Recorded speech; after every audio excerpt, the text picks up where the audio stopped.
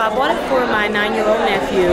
He struggles with math every single school year. What was your initial reaction when you heard the track on the album? I thought it was absolutely phenomenal. It was relatable. It was geared towards the day and times that we live in. The sound quality was great, and it really just it spoke to the kids who need the help with the math. So I thought it was great.